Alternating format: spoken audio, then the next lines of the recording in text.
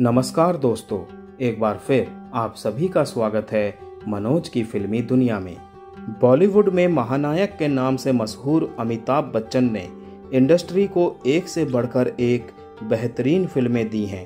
1976 में बनी कभी कभी भी उन्हीं फ़िल्मों में से एक थी। इस फ़िल्म से जुड़े कई ऐसे किस्से हैं जिससे आप ज़रूर रूबरू होंगे, लेकिन कई किस्से ऐसे भी हैं जिनकी जानकारी शायद आपको ना हो। तो आइए आज के वीडियो में बात करते हैं यश चोपड़ा के निर्देशन में बनी फ़िल्म कभी कभी की। वीडियो में आगे बढ़ने से पहले आप सभी से रिक्वेस्ट है, प्लीज़ मेरे चैनल को सब्सक्राइब करके बेल आइकन को ज़रूर प्रेस कर दीजिएगा दोस्तों।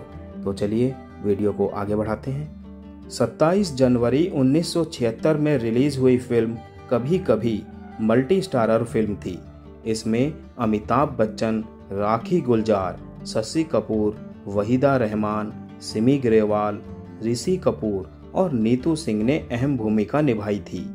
इस फ़िल्म में अमिताभ बच्चन के माता पिता हरिवंश राय बच्चन और तेज़ी बच्चन भी नज़र आए थे।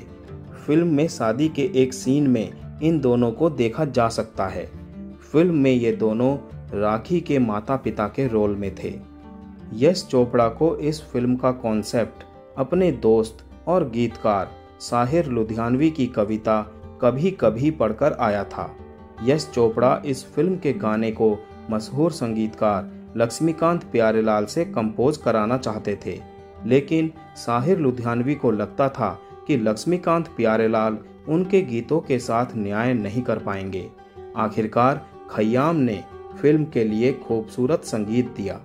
फ़िल्म में अमिताभ की किताब, जो कभी कभी के नाम से पब्लिश होती है, दरअसल वो साहिर लुधियानवी की कविता है। यश चोपड़ा ने इस फ़िल्म की शूटिंग कश्मीर में की थी। फ़िल्म के स्टार कास्ट का पूरा परिवार इस दौरान कश्मीर में रहा था।